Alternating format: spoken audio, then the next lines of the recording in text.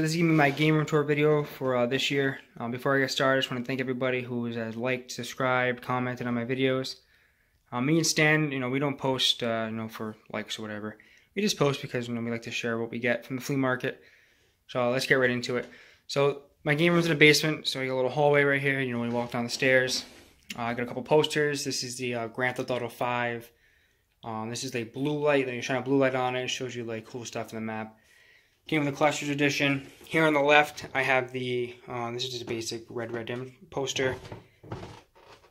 Uh, Far Cry 4 poster came with the collector's edition.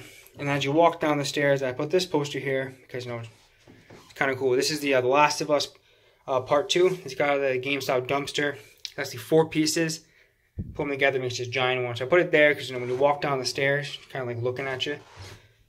Uh, it's kind of cool, especially when you, when you, walk down here during night. It's kind of just like, you know, sometimes it like scares you. Uh, Far Cry 4, uh, another map of the game. Got this from the collector edition as well. Banger right right here, and this is the game room. Uh, so right here I have a little end table. This is where I keep all of my uh, extra games, extra cases, just uh, spare stuff I have. Keep this down here. Up here, then Blue Line Flag, got that at the flea market, like 40 bucks. And this is where I keep all my games. So this is a little panoramic of the room. So, no, it's pretty big down here. So let's start on this on this wall right here. So this wall is basically where most of my games are. So right here, this is my uh, PlayStation stuff. So I got the uh, PlayStation 4, the Destiny one, uh, PlayStation 1, complete in the box. On top of that, PS1, a couple of games uh, next to the boxes, and these are my shelves all my PlayStation games. So I got some PS4 games. Um, just shout out what I'm playing right now. Seven Days to Die, really fun zombie uh, survival game. Playing that a lot lately. PS3, PS2, and then PSP. Everything's alphabetical order. I got this uh, cool CD shelf. This holds all my uh, you know CD-based kind of games. All my PS1 games here. And then I got um, these unlabeled games are all my Sega Saturn games, TurboGrafx game, and then I have a Dreamcast game right down there, Shenmue. All right, over here is where I keep most of my like you know DVD kind of case kind of games. So Xbox 360, Wii, GameCube. And over here, this is where I put my uh, Sega stuff. I got some Sega Genesis, Intellivision, all my Atari stuff. I would like to have a shelf, you know, split each game, you know, each you know kind of system, you know, Sony, Nintendo, Atari, but I don't have that kind of room down here, so I kind of got to jam it all in here. And then for the systems I have, this is the Halo uh, Special Edition original Xbox. Comes with the uh, controller too. Xbox 360. Uh, fun thing about this one, got this out of a GameStop dumpster like five or six years ago. Works perfectly fine. And then over here on the left, I have Atari 2600. This is also complete in box. Then I have this kind of, not really a knockoff because Coleco made it, but it's the Coleco Gemini.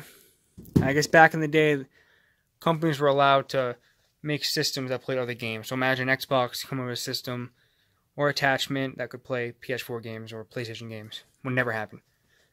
Here I have my Odyssey 2. This actually stands. Uh, I got this a couple months back. 45 or 50 bucks you paid for it. Um, literally brand new in the box. So the box itself has been opened, but like when you open it up, everything's still wrapped in original plastic. I bet has never been powered on, so I'm gonna keep it that way. And then up here, Odyssey 200.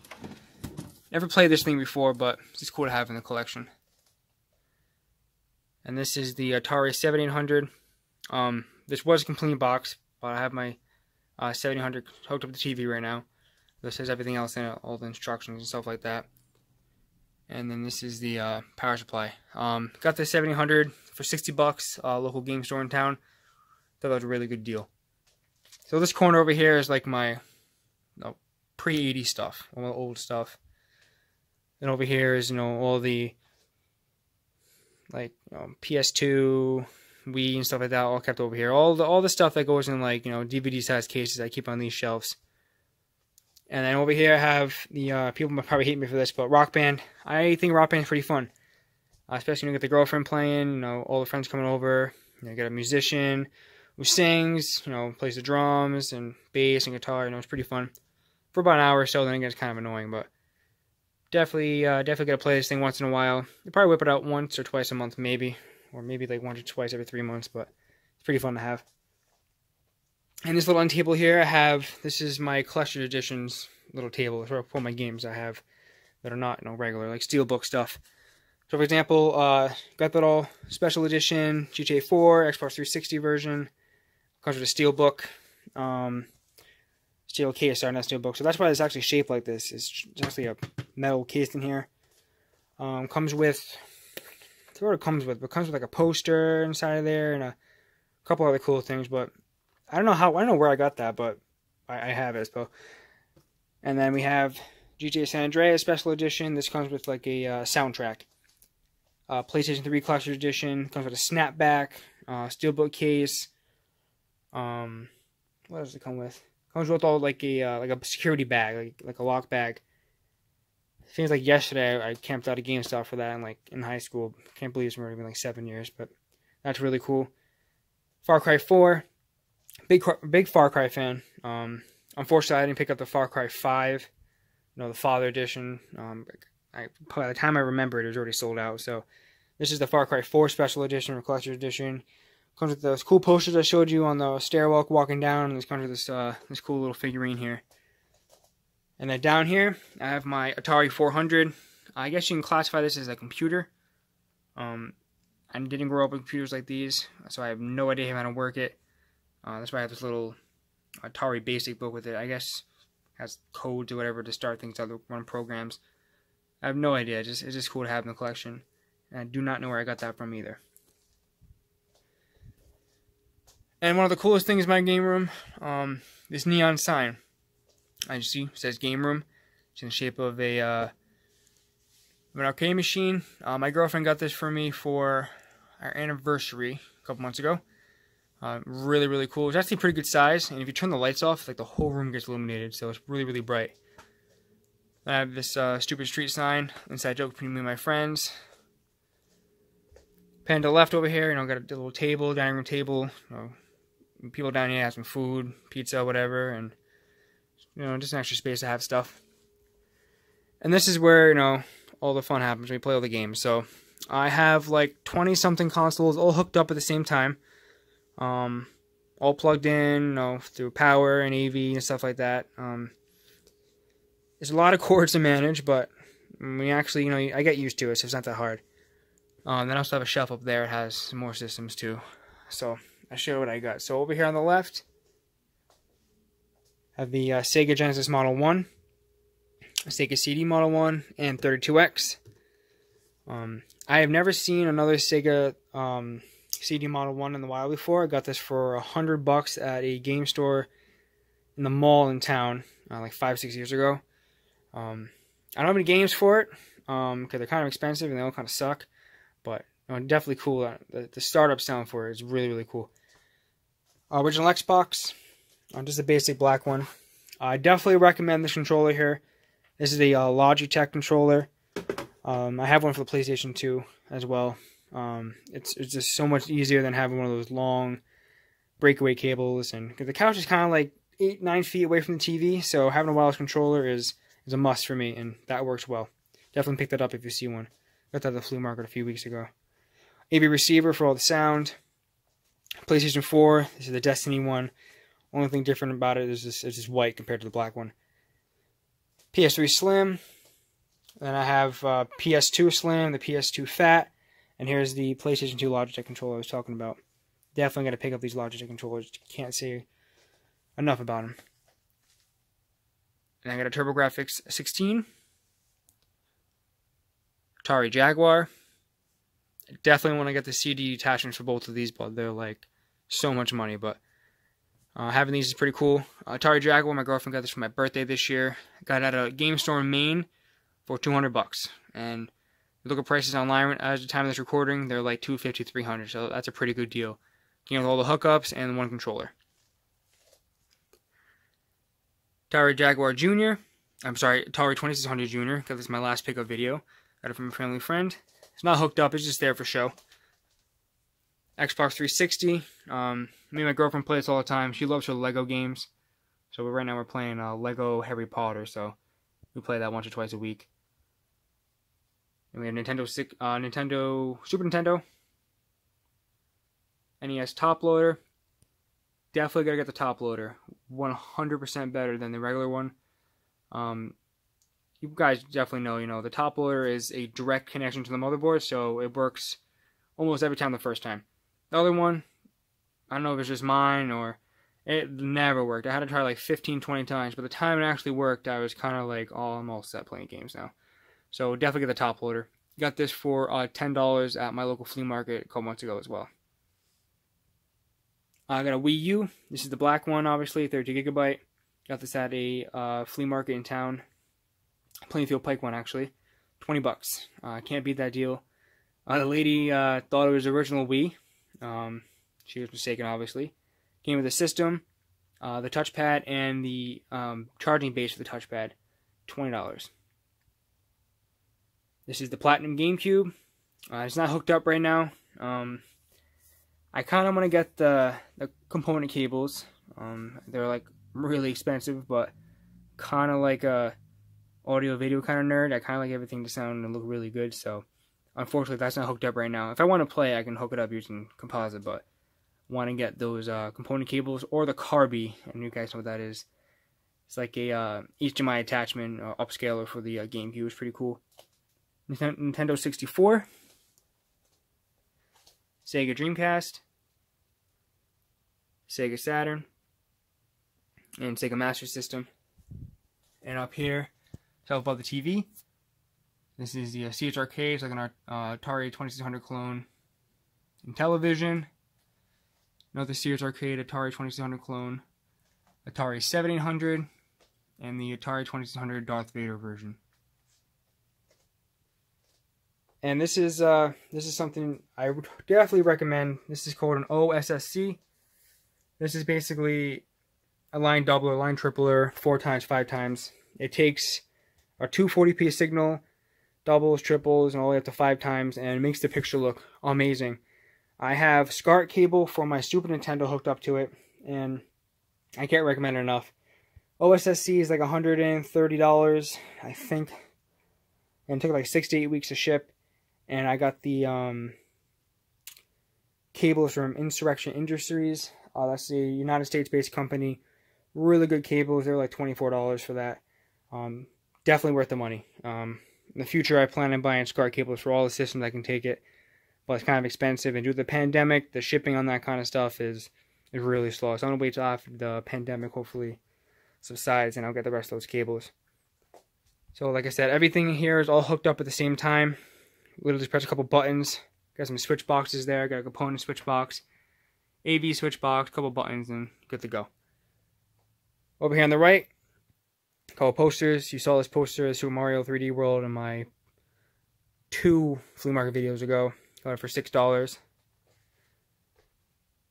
Got some glasses here. Mario, Peach, and Yoshi. Got this out of GameStop dumpster last night. Um, they threw it away because it's supposed to be a set of four with Luigi, but the Luigi glass was, unfortunately, was, broken. So, got these three pretty good shape. Uh, Nintendo Wii, complete box. Uh, Nintendo DS Lite. I don't know where my system went. It was supposed to be in the box, and now it's not there. So, that's unfortunately just the box. Original DS, this is complete with the game. This is my original one from when I was a kid. DS carrying case, this basically holds all my loose DS games. Nintendo GameCube complete in box. Game Boy Advance complete in box. Nintendo NES system complete in box. NES cleaning kit. Carrying case for games. And the NES, NES Advantage. Over here I have my Bubble Bobble Part 2. I got that, and that was my first video I posted. I got that for free. It's like a $600 game. Super Game Boy, and a Super um, Game Boy Advance SP case. cases holds the chargers. And this is like my handheld table. The Vectrex isn't handheld, but this is the best place for it. I got the Vectrex. I got this like eight, nine years ago. I got it for $100 at a local game store. Um, best pickup. Those things go for like three, four hundred dollars now. So definitely the coolest thing. I rarely ever play it because I don't want to break it. Um, I don't have any games for it except the one it came with, which is Mine Storm. And luckily, I have the overlay for it. And here are all my Game Boys. I got most of these Game Boys here and handhelds at the flea market. I'm not really a big handheld kind of guy, but when they're really cheap, I, I can't pick them up. Uh, original Game Boy, another original Game Boy with the, uh, this is the yellow color, Game Boy Pocket. Game Boy Color, the blue one or teal, lime green, two SPs, red and silver. Unfortunately, not the fancy one with a nice backlit screen. Game Boy Advance, uh, like the pink one, and another DS uh, that I got the flea market a couple weeks ago. Uh, I like this one because I don't see the other one out of the box all the time. Uh, whenever I play a DS game, and I open the other DS box and just leave that beast. And I have two of them, one for in the box and one to actually play. These are all my uh, all my NES games, Super uh, Nintendo games, N64, basically all my Nintendo games all fit on here. I have like 118 NES games right now. Um, I only collect games I really want. Um, Super Nintendo games collection kind of lacking. N64 collection is definitely lacking, but I'm not going to pay eBay prices. So most of these games I found at the flea market, so one or two dollars a piece. In this corner is all my Sega stuff. Probably realized already, but every corner has you know different companies. So Nintendo, Sony, little Xbox, you know old stuff like Atari. And this corner is my Sega stuff. So Sega Game Gear, I have three of them. None of them work. I can. I've never actually found one that worked. All the capacitors die on them. I should probably fix it, but realistically, I am never going to play it, so it's just there for show. Sega Dreamcast uh, remote, complete in box. Sega Genesis complete box model 1. I have one over there, and but this one I found with the flea market, put it in there to make it all complete. And then Sega Genesis Model 2. Down here I have a little, small little 13 inch TV. Got a yard sale, five bucks, just so I can test systems out without unplugging a bunch of wires, my big one, whenever I get a system. This is a Super Scope Super Nintendo. Fortunately, I don't have the dongle that plugs into the Super Nintendo, so I can't use it, but this is really cool having the shelf. And uh, TV plus four, little Pong system. Never played it before. Uh, just cool look on the shelf.